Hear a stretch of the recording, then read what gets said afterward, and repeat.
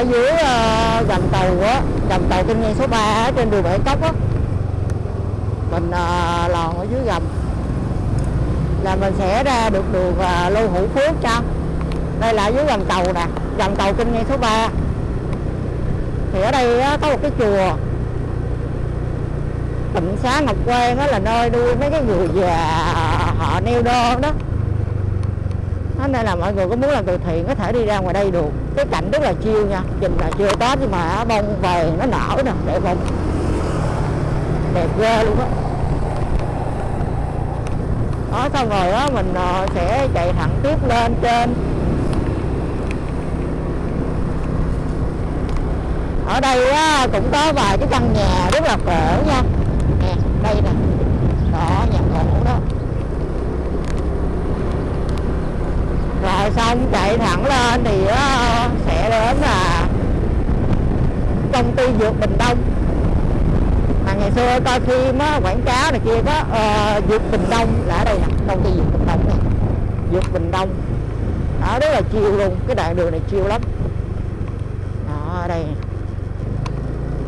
đó có cái chùa cái chùa phía bên tay tay phải nè à, tay trái nè ở chùa tịnh xá ngọc quang á mọi người muốn làm từ thiện thì đi ra ngoài đây nha. Mình có thể đi vô trong chùa rồi hay là mình à, phát phát tâm á mình làm công đức hay là mình à, cúng uh, tiền uh, cúng tiền á.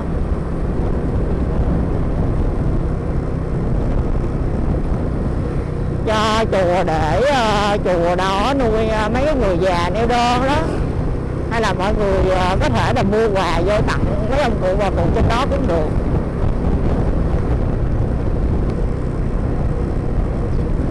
Đó, đây là đoạn đường ờ, Lưu Hữu Phước nha.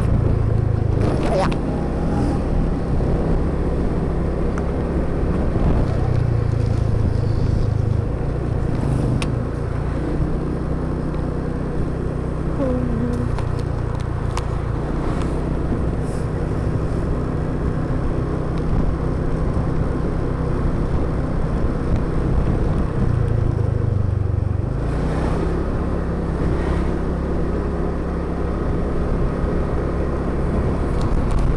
Đây chạy thẳng lên một xíu nè. Thì đó, cho mọi người xem nó có mấy người đó, họ vòng lại nhưng mà họ không có nhìn nha. Chạy lên một chút xíu nữa. Ồ có cái chị này chị bán cái gì nè? Bán kiểu mà giống như xin quay á. Đã ha bờ sông nè. Ê, nước đang lên đó nước đang lên, cao cao rồi đó. Rồi nước cao rồi đó nha. Ở phía bên kia có bà cụ quán vé số kìa. Nó bao nhiêu không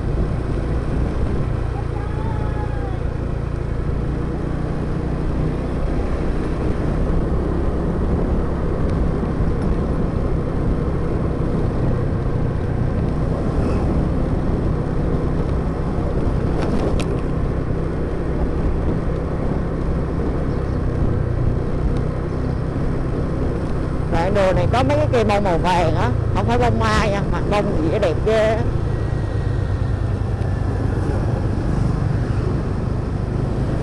mình nhớ bữa lúc mà hè đó thì có mấy cái cây phượng á. Có mấy cây phượng ở chỗ khác nha nó nở ra á, hoa phượng màu đỏ chót luôn đẹp ghê nè cây bông giấy ở đây có cây bông giấy nữa nè có cây dừa cây cổ thụ nữa. Nhiều ghê có cây dừa. nữa mấy trái dừa non không à. Mấy trái dừa già chắc là người ta hái hết trơn rồi. À cây dừa cao lắm mình cũng không hiểu là người ta hái bằng cách nào. Cây dừa cao lắm luôn.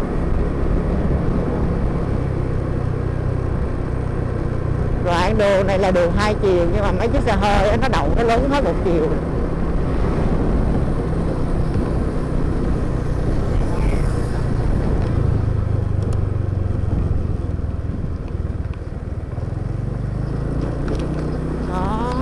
chim bay kìa, chim bồ câu á.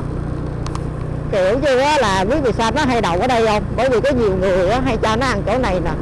Nên là nó quen á, cứ đúng giờ là nó sẽ ra ngoài đó, nó đậu, nó đợi người ta cho ăn á. Ra ngoài nhà thờ đức bà này kia á cũng có nữa. Ngay chỗ mình bưu điện thành phố đó, cũng có người hay cho tụi nó ăn đó. Nên là trước khoảng trưa trưa là chim bồ câu có xà xuống rất là nhiều mấy con chim bồ câu á, nó rất là thông minh nha. Tuy là nó không biết nấu, nhưng mà nó biết ai cho nó ăn. Nó gặp người mà cho nó ăn á, nó không có sợ. Còn những người á mà lạ đó thì nó hơi về chừng chút xíu. Ở dưới này là mấy cái chỗ mà người ta tập kết nè. Tập kết rác rồi ờ, phế liệu này nọ đó. Ở dưới gầm tàu á. Đây là tàu kinh niên số 2 nha. Tàu này là tàu kinh niên số 2 nè. Bây giờ là 3 giờ 10 phút rồi. Mình đang rẽ lên trên ờ, cầu kinh niên số 2